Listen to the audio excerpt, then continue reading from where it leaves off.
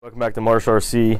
This video is brought to you today by White Rose Hobbies. We're actually here at the shop at White Rose Hobbies. Um, this is just a little unboxing video of a package we have for a couple builds that we're working on. Um, this package actually got lost in the mail for like four days. It was pretty horrible. Um, but if you guys are following along on the channel, you missed some of the trucks that we're working on. Um, these are a lot of the parts for those builds. So we're gonna open this up pull out the parts, check them out. So this is actually just a big box of Knights custom parts. Um, we actually now have a direct account with Knights Custom. So make sure you check out the links in the below, links below to check out White Rose Hobbies. If you have anything um, that you want, if we don't have it in stock, let us know. We can get it in. Um, so this is our first shipment of stuff that we needed for the build, for the couple builds that we are working on. We actually had this particular shipment uh, drop shipped from Knights uh, from Shapeways, so this didn't come directly from him because it so it doesn't have the nice um, Knight custom packaging, but that's because it's for our builds for coming up, so we didn't really care about that. Um, but we got some inner fenders. We got a grill Rotopacks for the windows. Rotopacks to actually put in there. This is a hood kit. So the two trucks that we're actually working on with these for the, the builds that we're doing are actually the Axial 67 C10 body and the uh, Axial 2017 Jeep Wrangler Unlimited, actually the CRC edition. So all these parts coming out of here are for those two trucks. Here is the motor for the C10. Motor parts for the C10. More Rotopacks. This is the um, like a rear carrier for the Rotopacks and basket for um, actually, you can put it on anything, honestly. Rotopacks. These are the fender body armor for the Jeep. For the front, actually. This is the rear body armor for the Jeep. Inner fender wells for the Jeep. This is the inner fender wells and motor bay for the C10. Hood for the Jeep.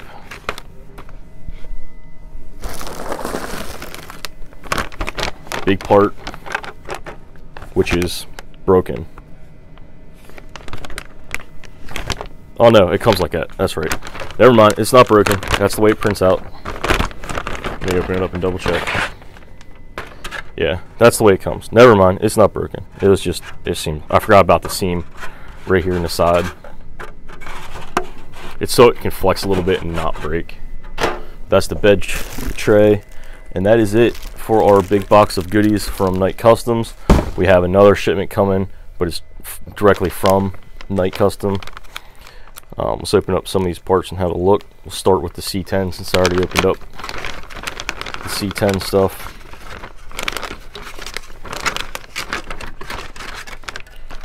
So here's the front engine bay for the uh, C10.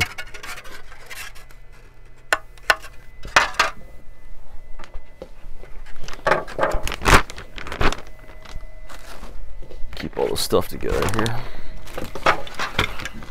This is the hood kit and hinges for the uh, C10 all the pieces that you need there.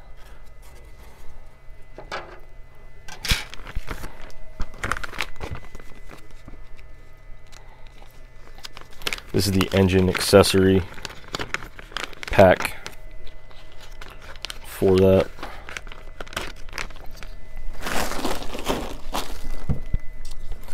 Yeah, a bunch of engine accessories in here. And then this is the engine itself.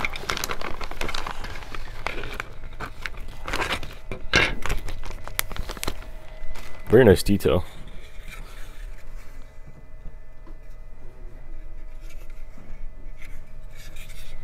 So that's everything we have for the C10 at the moment. And we'll do some quick checking out of the Jeep stuff. So this is the hood that we have. It's kind of hard to see a lot of the detail because it's all black. Get it in different lighting. There we go. So that's that. Then we have the front body armor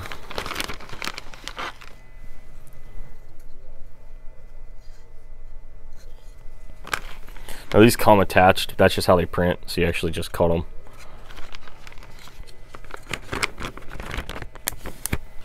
The rear box. That was that was weird. My video cut out. We're back. Um, but it goes around. As I was saying, this rear body armor goes around the rear light, where the rear light buckets would be. Has a gas cap printed on there. Very nice detail.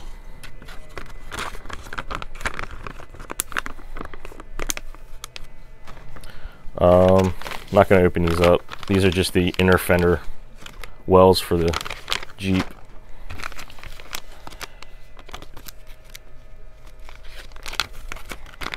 Front grill with the angry eye already molded into it.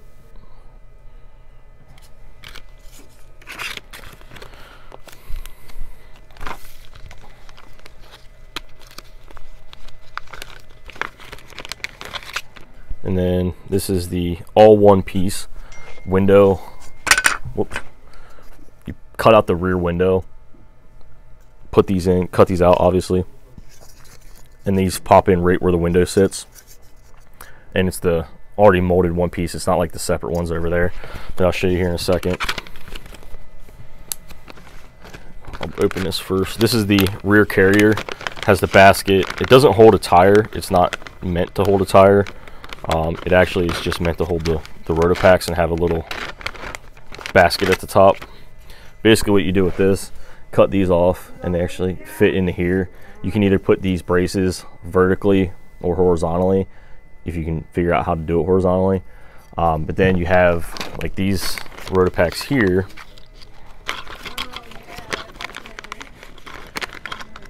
yeah so on these Rotopacks, when you buy them like this, um, it actually comes with a cap right here.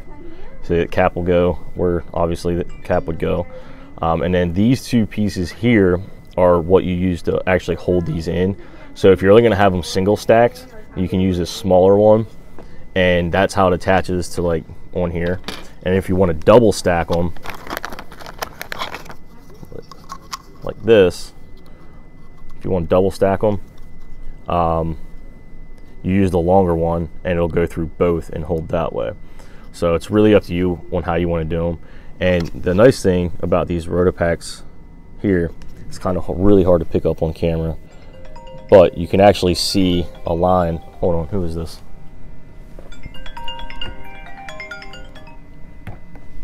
Um, if you actually see the line up at the top, kind of, that actually says Rotopacks and has the Rotopacks logo. But with this being a white this lighting. It's kind of really hard to see. It is on the red one as well.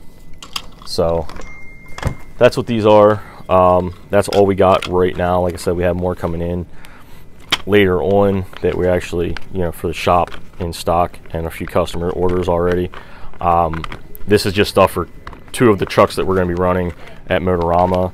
So we wanted to get these as quickly as possible because we have, what, just over two weeks now until Motorama. So we want to make sure we had plenty of time to get these parts in and installed before Motorama. So as always, guys, like, share, subscribe, and we'll catch you in the next one.